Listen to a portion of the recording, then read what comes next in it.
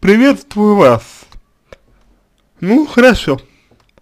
Ага, с мужчиной вы поговорили, со своим мужем вы а, все прояснили, здорово.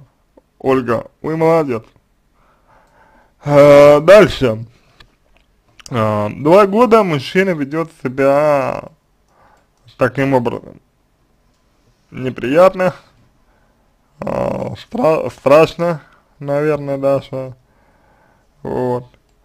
Возможно, есть еще какие-то аспекты, о которых вы не говорите, но тем не менее.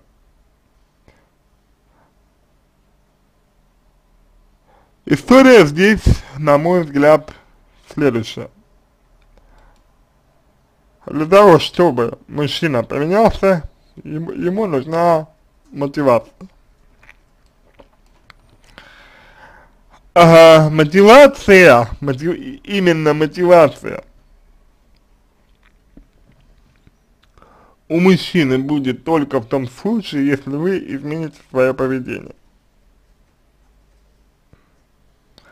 Если вы свое поведение, Ольга, не меняете, то и мужчина вряд ли изменится. Ну, то есть, его все устраивает. Ничего не надо делать, ничего не надо меня, менять.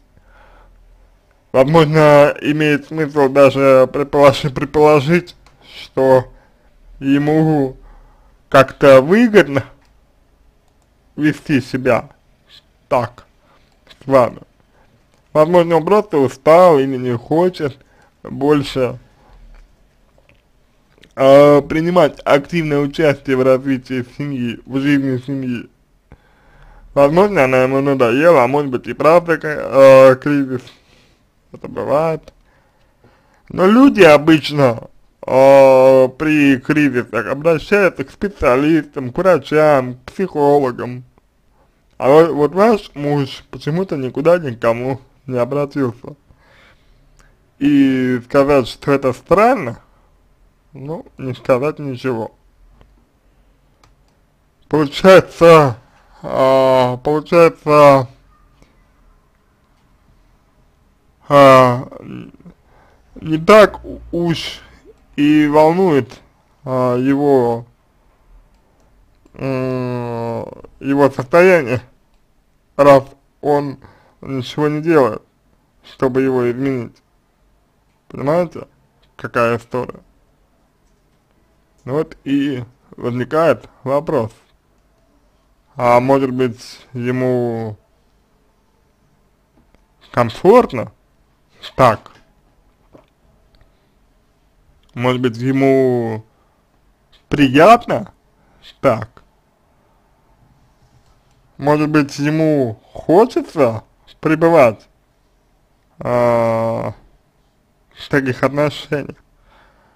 Может быть ему нравится пребывать в таких отношениях? Понимаете, какая история? Ну, если он ничего не делает, то логично предположить, а, что человек как бы не очень заинтересован в том, что, чтобы что-либо менять. Понимаете? Вот и все. И тут уже вопрос, тут уже вопрос, насколько вообще мужчине, мужчину все это устраивает. Понимаете? Какая история. Если ему хорошо,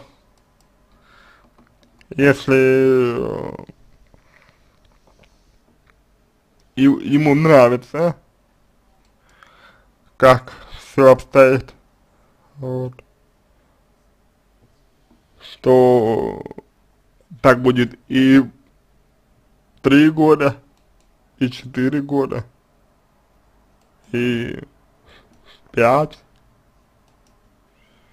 понимаете? Вот. Поэтому нужно сделать так, чтобы вывести его из зоны комфорта. А для этого вам нужно в первую очередь от него отдалиться. Ну. Понимаете? такая история. Ну вот, вам нужно от него отдалиться. То есть, понимаете, у вас какая-то дихотомия наблюдается в э, восприятии ситуации. Почему дих дихотомия? Либо ждать, либо разводиться. Все.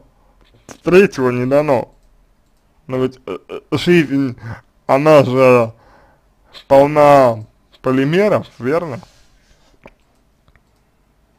И, соответственно, адекватное отношение к ней состоит в том, чтобы чувствовать э эти полимеры и выбирать именно то решение, которое максимально отвечает данной ситуации. Например, своего мужа вы любите, и, в общем-то, разводиться с ним вы бы не хотели.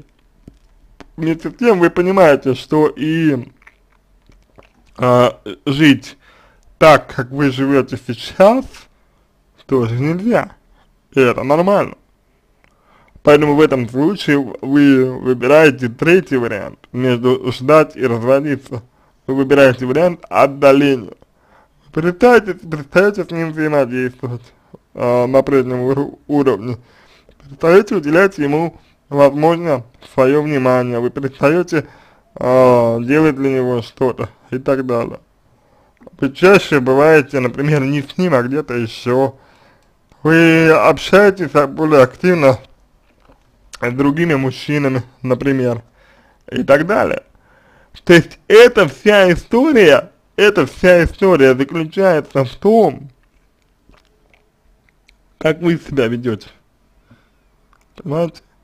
И если вы хотите вести себя, ну, если вы хотите чего-то добиться, если вы хотите чего-то достигнуть, если вы хотите жить счастливо, то вам нужно э, что-то предпринимать. Вот. Но не ждать и не разводиться. Развод это когда мужчина уже прям вот все, он, вы видите, что ему уже вообще на все плевать, он ничего не хочет, вот, э, он не готов, например, э, бороться, э, ну, за вас, допустим, не готов он, ну, ничего делать, да, ну, вот, и, соответственно, в таком случае вы просто говорите ему, дорогой, ну, как бы я тебя люблю, но ты тянешь меня назад, поэтому извини, пожалуйста, ну, нам с тобой да, дальше не по, не по пути. Вот, и все. Вот.